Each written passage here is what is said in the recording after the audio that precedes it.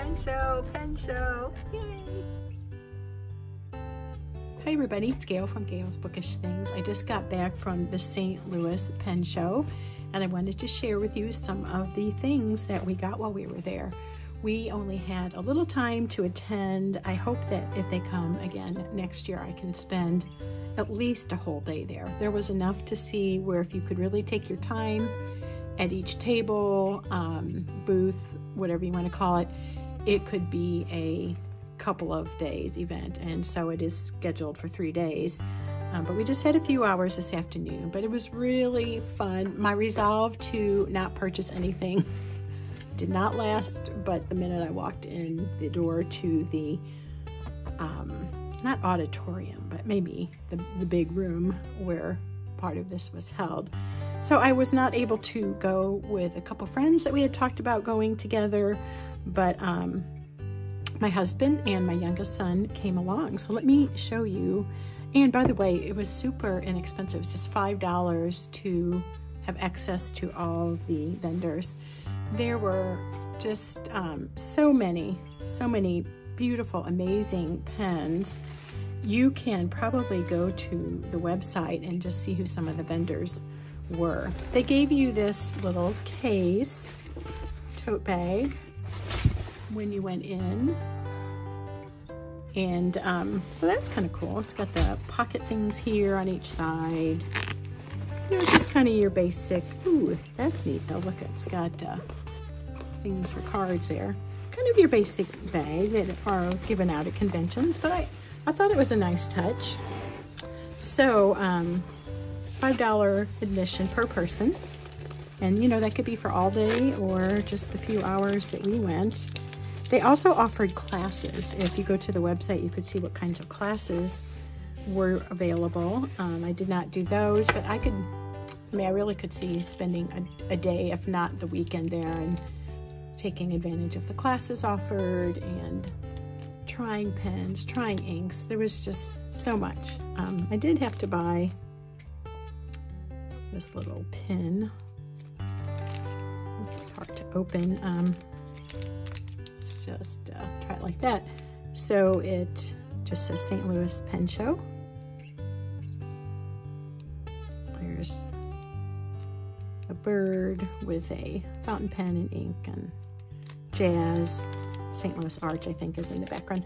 I have a collection of these enamel type pins, so I had to get one uh, for the collection. So I think I'll just kind of grab stuff and show you um, as I come across it. So at the check-in or registration, they gave you these um, blotting, what are they called? Blotting paper things.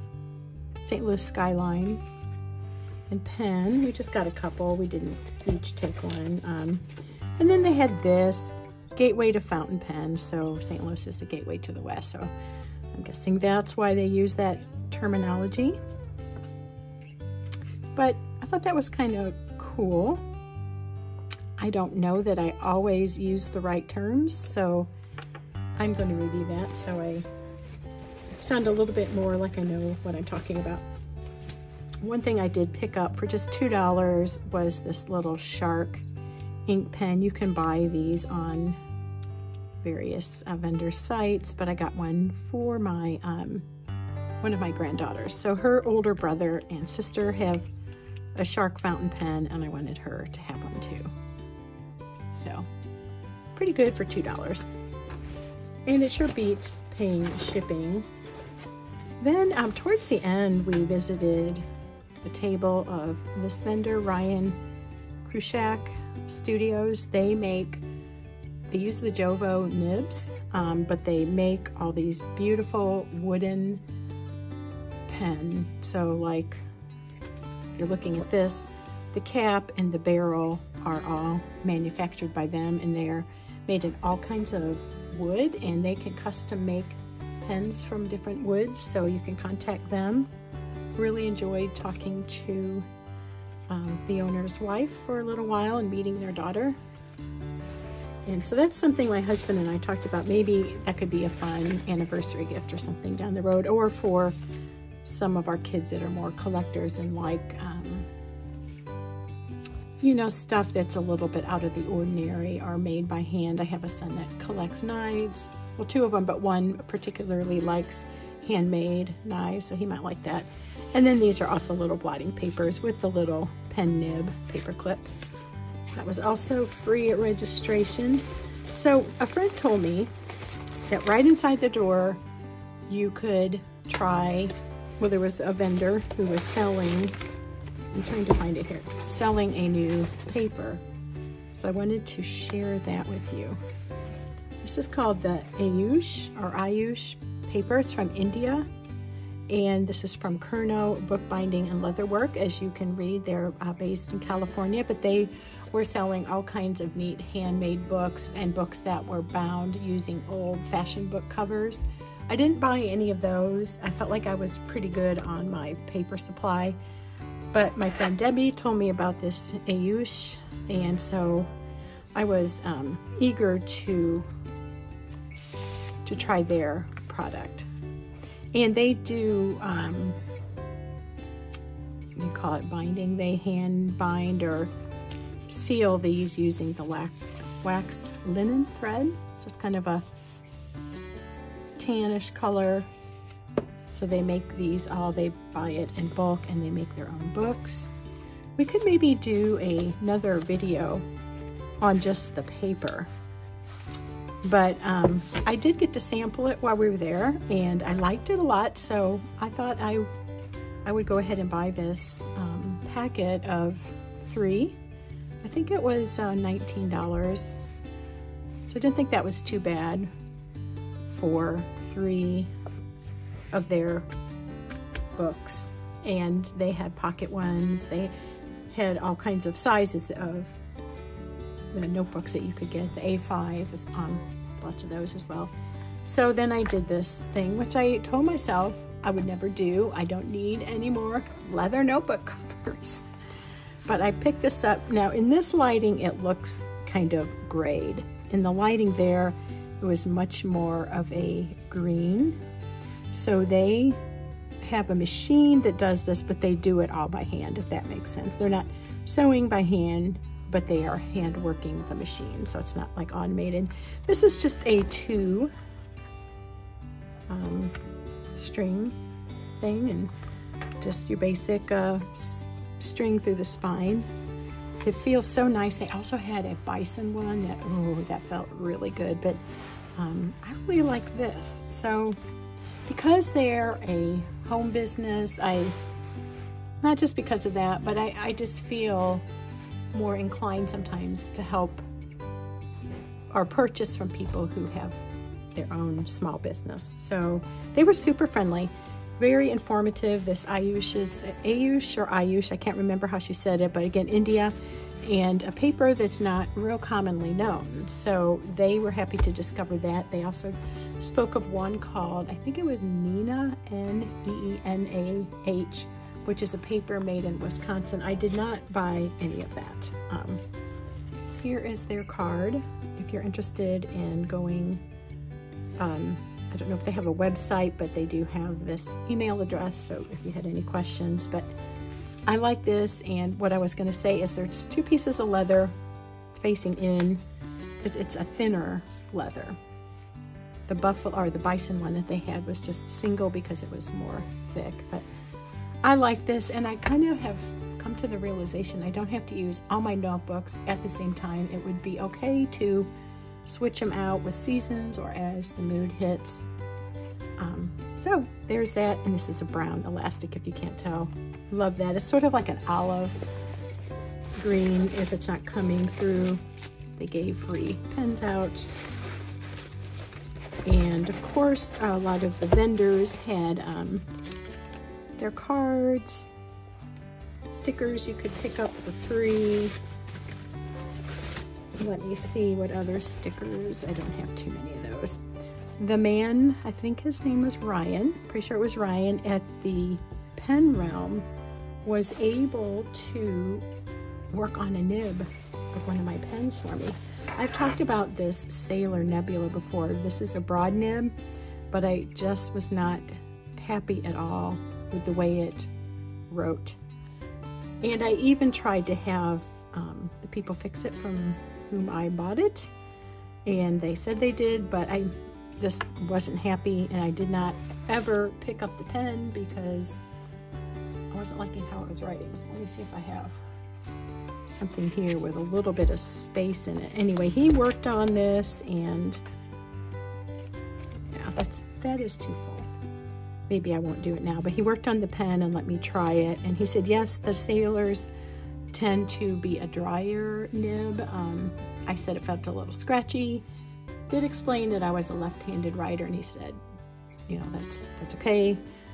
He worked on it and it felt much better. And his suggestion, um, if this is of help to you, is to use Iroshizuku inks. He said they are super good wet inks that work with a variety of pens quite well. So maybe I'll just focus on using my Iroshizuku inks and the Kujaku that I have. I think will look good with this and we'll try it again with that ink in it. Um, I think I've tried it before and it was like, eh, but now that he did some tuning to the nib, I'm hoping that um, that will continue to be a good fix. It seemed good at the show, but you know, sometimes you just have to work with things a while. Um, what else I wanted to tell you? Can't remember, but I, guess I just wanted to say it was super neat to have the, is it the Nibmeister there? Because um, then you don't have to pay the shipping fee to have a pen worked on and he's right there. You could try it out. And I kind of did that at the last minute. So I stuck this in my little single, I have it somewhere here. I just took it out of it. Anyway, have a little homemade pen case. I had that in there, stuck it in my purse, and fortunately, I had it with me at the pen show. So it was all ready to be used in case there was a dead person there, and there was. So I was very happy about that. I bought my son, um, Drew, my youngest son likes to draw. He's very much a technical drawer. He um, has unique but very clear writing with his numbers and lettering. So we bought him a Pentel um, lead pencil and we bought him some leads. We purchased that from St. Louis Art Supply, which is in my at-large hometown. We live in St. Charles County, but I grew up in St. Louis County, so I kind of claim it as my, my hometown. Um, so another thing, before I get to the main thing, we came across um, a table where they were selling these vintage Warren penny pens. So back in 1890s, you could buy these fountain pen type things for a penny. They had ink there where you could test them.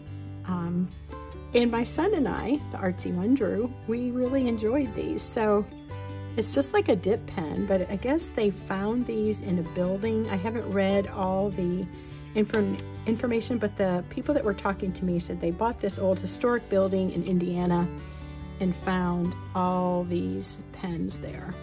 Just like a dip pen. Manchester, Indiana.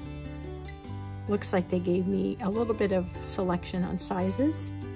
Um, I didn't really need these, of course. I mean, who needs any of this? But I wasn't thinking of purchasing from them. But I really had a nice time talking to them. And then I got to thinking, well, I think that uh, Drew would have fun with this. He, again, is the art person. I thought this might be a fun giveaway at some point to offer one of these. Um, and just the fact that it's like a vintage item was really cool. So they have Falcon pens, bank pens, quill stub, and A1 college pens. I will have to read up on this, but I'm thinking there might be, like I just said, a, a few of each. So I was drawn into that. I do like that it's unique, that it's vintage, and that it's something I might be able to share. This here feels like a type of cardboard. Um, it reminds me of a straw, like a, a heavy duty straw. So I should probably read up on that. Um, it was unique enough that I, I did go ahead and fall for that, I guess you could say. But anyway, it was funny because you talk to people. I was just visiting a friend in Michigan, and the woman whom I talked to today has family that's up in a town right near where my friend lives. So we had that little bit of common ground. So I wasn't going to buy anything. Haha, ha, right? I walk in the door and then they have the vendor there, Dromgoole's, and right away I was drawn to the Benu, Benu pens and they had Opus pen. Let me see if I can open the box. So I saw this, I asked the guy to tell me a little bit about it and he did. And so my husband, who's always very generous with me, bought this beautiful orange pen. It reminds me of the color of like a tangerine sort of like a murky orange. Very pleasant color. I like the big pens. I got the broad nib in it. Opus 88 broad nib. I really like the shape of this. I like the flat ends on each side. Now some people make mention of the um, clips I don't use a clip other than to slide it into my um, pen case that my good friend Kim made for me. It does seem like a decent clip. It's got some play to it. And this is a eyedrop filler, he was telling me. So when you want it, it's an eyedropper, gosh, here we go. Eyedropper filled, so it does come with the eyedropper or you could do a syringe. And so when you open this up, it allows the ink to flow. And then when you don't want it to flow, you need, it kind of has a little squeak to it. You have to um, shut it and it will keep the ink from leaking. And he gave the example if you're flying, you're taking your pen with you, the pressure change won't cause it to leak. I do like the chunky size think this will be super fun. So I, I will hopefully do a little bit more on the pen and the paper once I have this inked up and think about how I'm going to use this. I may just switch out some pens and we'll, we'll, or not pens, notebooks and have fun rotating. That is all for now. I hope that you enjoyed this little um, summary of the St. Louis Pen Show.